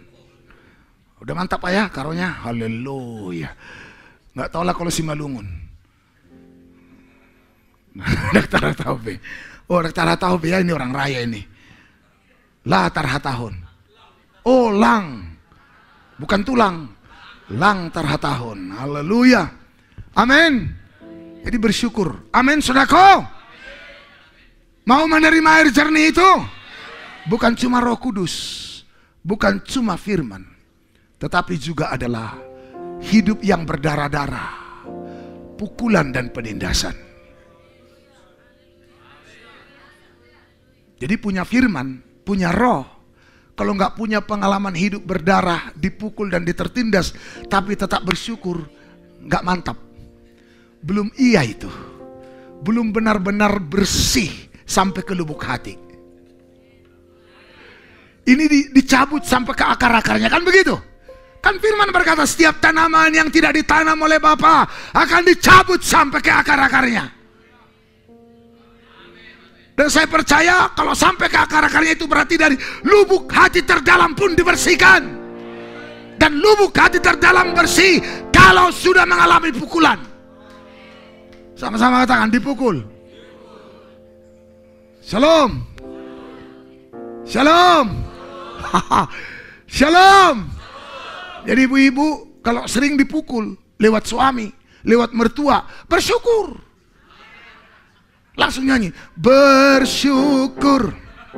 Na na na na na, aku bersyukur.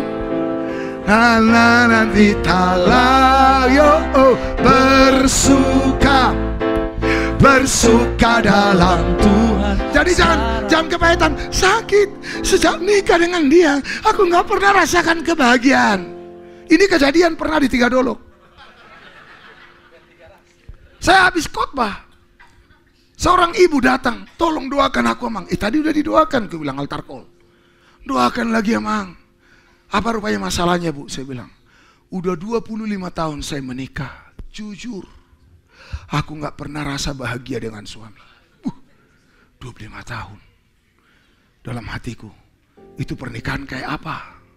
Ini berarti neraka di bumi. Nggak pernah bahagia dengan suami. Lalu saya tanya, anaknya berapa bu? Tujuh. Itu yang membuat saya bingung sampai hari ini. Bagaimana bisa punya anak tujuh? Bisa nggak dia punya anak tujuh kalau nggak bahagia sama suami? Oh Tuhan, Haleluya. Jesus. Tujuh anak tapi nggak bahagia. Orang dia bilang nggak pernah bahagia sejak menikah. Ya sudahlah itu susah diperdalam. Tapi andai kata pun itu dirimu. Ubah semua itu jadi pujian. Katakan amin. Tertindas itu baik bagiku. Supaya aku mengenal ketetapan. Jangan sakit hati. Jangan seperti ada cerita kawan pendeta. Suami dari dari seorang ibu meninggal. Sudah tahu, setelah meninggal, ibu ini nggak nangis sampai ke penguburan. Teman-teman inang ini, yang mabalu ini, wih, akhirnya mereka berbisik, kuat kalilah edak kita itu ya. Benar-benar dia rela melepas kepergian suaminya. Tegar kuat dia. Nggak, nggak larut dalam kesedihan. Selesai dari penguburan, mereka datang pulang sengaja ditanya, Eda, apa sih resepnya bisa kuat menghadapi kemalangan seperti ini? Eh si Edanya tertawa. Ini sudah jawaban doaku. Sejak 10 tahun yang lalu. 10 tahun yang lalu aku berdoa. Dan ini baru dijawab Tuhan. Makanya waktu ini terjadi. Buat saya ini syukur. Karena ini adalah penindasan bagiku. Yang doakan seperti itu kepada suaminya angkat tangan. Mana kau ibu?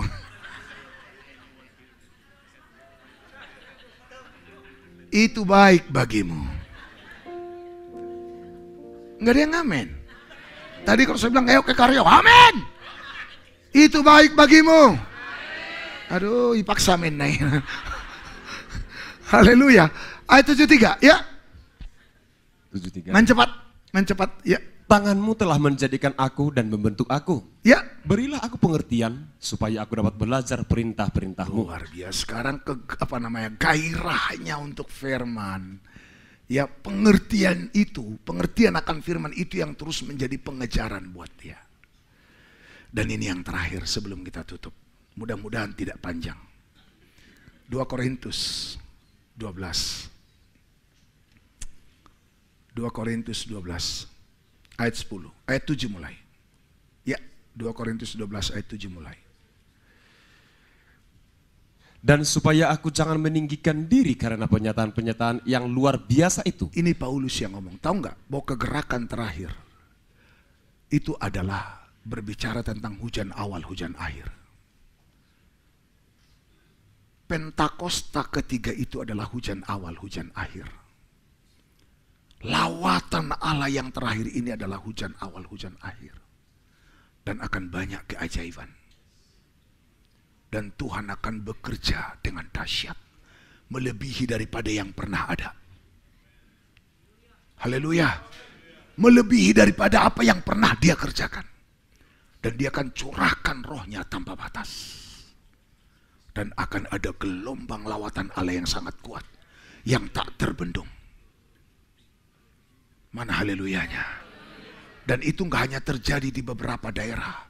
Tapi itu akan terjadi secara global menyeluruh. Mana haleluyanya.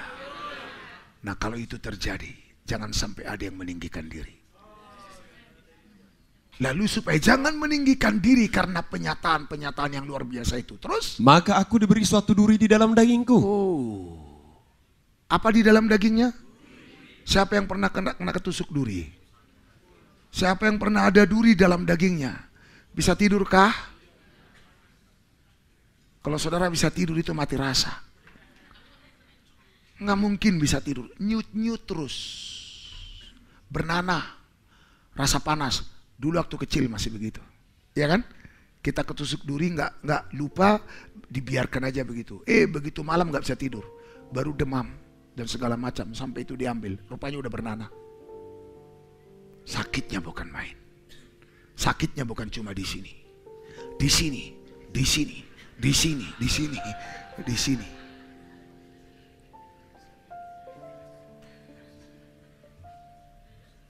Daging ini harus disakiti dan harus merosot supaya manusia batinnya kita dibaharui dari hari ke hari. Penyembah itu adalah orang-orang yang mengalami pembaharuan batin yang terus dibaharui dari hari ke ke sehari. Katakan haleluya. Amin. Supaya aku jangan meninggikan diri dengan penyataan-penyataan yang luar biasa ini. Aku diberi duri dalam dagingku. Terus. Yaitu seorang utusan iblis. Waduh. Terus. Untuk menggocoh aku. Digocok, digoreng dia. Digongseng. Terus. Supaya aku jangan meninggikan diri. Nah ini yang disebut tadi pengalaman hidup yang berdarah-darah itu. Ini yang disebut dengan pukulan dan penindasan itu. Dan itu penting. Agar hati tetap terpelihara. Supaya jangan meninggikan. Jujurlah kita ini. Nggak usah dipakai luar biasa. Luar binasa saja sombong. Haleluya. Loh, halo. Haleluya. Saya ngomong begini ini termasuk saya. Saya juga harus bertobat. Nah kalau saya bertobat apalagi saudara. Shalom. ya sama-sama lah katakan amin. Aha. Ya terus. Tentang hal itu aku sudah tiga kali berseru kepada Tuhan. Ya. Supaya utusan iblis itu mundur daripadaku. Biar mundur jangan ada lagi nih pengalaman yang berdarah-darah pukulan. Ini nggak usah ada lagi Tuhan. Biar lancar pelayanan. Biar pintu selalu terbuka tanpa halangan. Biar lebih banyak lagi jiwa yang mendengar firman. Haleluya. Jadi nggak perlu ada rintangan. Semuanya pokoknya mulus. Jalan tolnya Jokowi. Terus ayat 9. Tetapi jawab Tuhan kepadaku. Iya. Cukuplah kasih karuniaku bagimu. Hayya, haleluya. Amin. Jadi udah memang pengalaman berdarah-darah, terpukul, tertindas itu udah, udah kebutuhan utama kita. Tapi udah yang penting tinggal dalam kasih karunia Tuhan. Itu cukup. Terus, terus, ya. Sebab justru dalam kele kelemahanlah kuasaku menjadi sempurna. Oh. Haleluya. Tadi kesaksian Pak Edo tadi. Yang dia terjatuh. Saat melayani masih ada berapa sesi lagi. Setelah dipulihkan. Dia pimpin pujian. Baru ny- nyanyi satu lagu. Orang semua dijamah Tuhan. Karena apa? Sudah dipukul. Sudah tertindas. Kenapa bisa seperti itu? Bum, bum, bum, bum. Karena apa? Apalagi yang mau dibanggakan. Karena justru dalam kelemahannya lah kuasanya sempurna. Haleluya. Makanya kita semua butuh pukulan. Butuh penindasan. Beritahu kiri kananmu. Jadi permasalahanmu ini kau butuhkan bilang.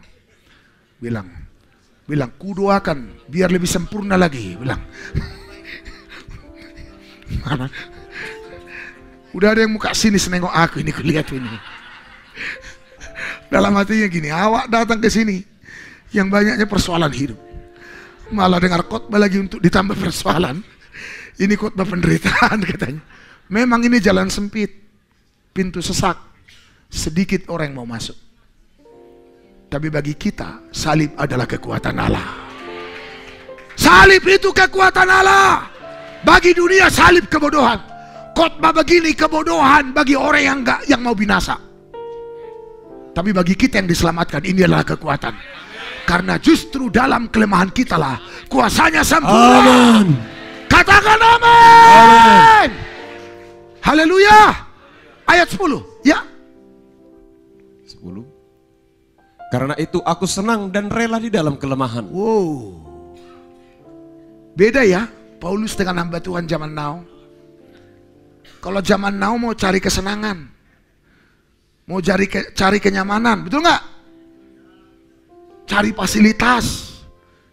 Cari fellowship di mana ongkosnya yang lebih banyak.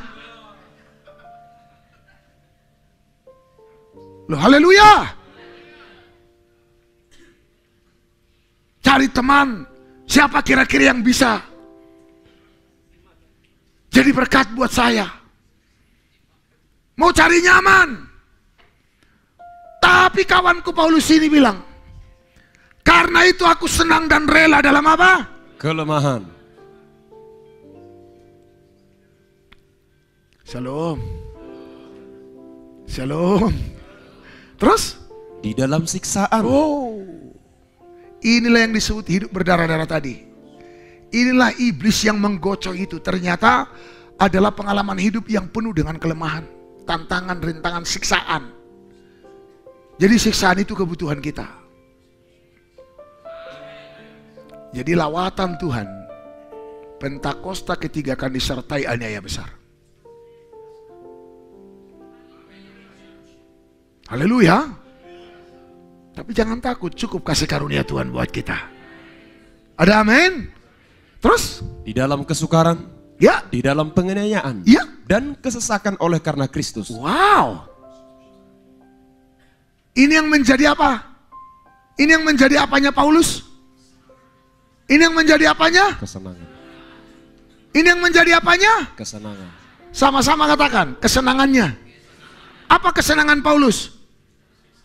Dalam kelemahan, dalam siksaan, dalam kesukaran, dalam penganiayaan. Oleh karena Kristus, karena Kristus nang alani oto. Mana haleluyanya? Karena Kristus. Karena Kristus. Karena firman. Kalau karena firman kita harus mengalami penyiksaan, karena karena firman kita mengalami penganiayaan, kalau karena firman kita dikucilkan, no problem. Kita harus senang dan rela. Haleluya. Terus, Sebab jika aku lemah, iya, maka aku kuat. katakan amin. Pasukan Tuhan itu adalah pasukan Tuhan yang kuat. Yang kesenangannya justru dalam kelemahan. Dalam penganiayaan, dalam siksaan, dalam penderitaan. Karena Kristus. Karena apa? Kalau karena firman jangan takut kehilangan jemaat. Kalau karena firman jangan takut kehilangan wibawa, jabatan. Kalau karena firman jangan takut kehilangan sinode. Dipecak lak nanti, gimana lah aku? Kayak saya ting-ting aja kok ya ke mana-kemana. Haleluya. Kalau karena firman apa yang mau kita takutkan? Jika Tuhan ada di pihak kita, siapakah yang akan menjadi lawan kita? Kalau karena firman jangan takut kepada siapa pun. Mana haleluyanya? Saya dari dulu prinsip seperti itu. Peduli amat. Tahu juga semua orang akan mati nanti. Lebih baik kalau saya mati. Mati karena mentaati firman. Dan gak mati-mati sampai sekarang. Dan tidak akan mati. Tapi akan langsung rapture. Haleluya. Amin. Amin. Mau dibasuh dengan air jernih? Apa air jernihnya Paulus? Kelemahan, siksaan, penganiayaan karena apa air jernihnya pemazmur tadi? Penindasan. Pukulan. Dan juga yang bilur yang Kenapa disebut bilur Yesus? Itu kan hasil cambukan daripada cambuk Romawi, saudara.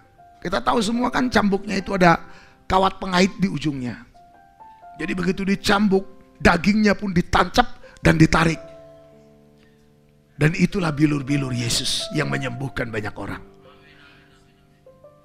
Sakit kan? Haleluya. Makanya Paulus bilang aku senang dalam siksaan. Amin. Asal karena Kristus. Karena firman. Nangkap sampai di sini? Dan ini jalan yang harus kita lewati. Jangan dihindari. Walaupun banyak orang gak suka, biarin aja kita suka. Karena memang jalan sempit dan pintu sesak. Itulah yang menuju hidup.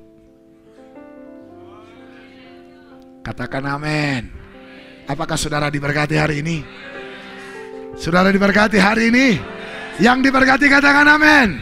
Berikan kemuliaan bagi Tuhan kita. Haleluya. Haleluya. Haleluya. Kita semua bangkit berdiri. Haleluya.